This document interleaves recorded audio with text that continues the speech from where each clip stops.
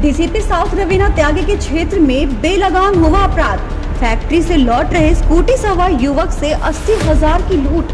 Scooty की डिग्गी में रखे रुपए लूट ले गए लुटेरे। कार से मामूली टक्कर के बाद मौके पर आए गुंडों ने दिया वारदात को अंजाम।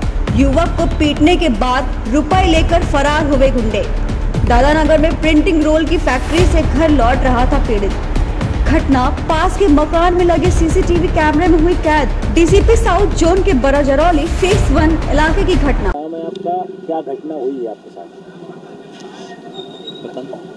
क्या नाम है आपका? क्या घटना हुई आपके साथ? मेरा नाम अंकित गुप्ता है। हाँ, मैं रास्ते से जा रहा था एक वैगनार वाले ने ठोकर दिया तो उससे मैंने बात मैंने कहा कि मेरी गाड़ी को नुकसान दो।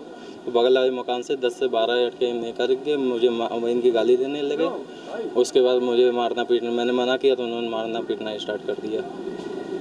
मार मार- की उस उसके बाद मेरी डिग्गी में पैसे पड़े थे। अस्सी हज़ार रुपये वो निकाल लिए कहाँ से पैसे लाए थे? क्या कर रहे थे? मेरी दादानगर फैक्ट्री है उससे पेमेंट आई थी वही पेमेंट लेके घर जा रहे थे। क्या पूरी घटना सीसीटीवी में कैद हुई हाँ। पुलिस कितने लोग मारते हुए दिख रहे हैं? दस से बारह पुलिस को सूचना दी थी हाँ पुलिस को सूचना दी है। पुलिस को क्या सूचना दी थी आपने?